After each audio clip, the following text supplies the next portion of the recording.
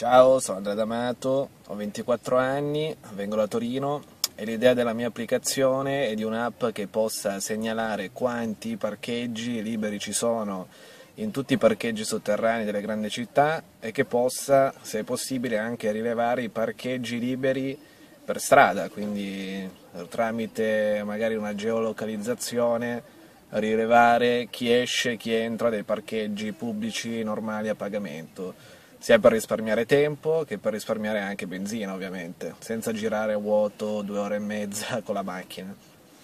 Ciao a tutti!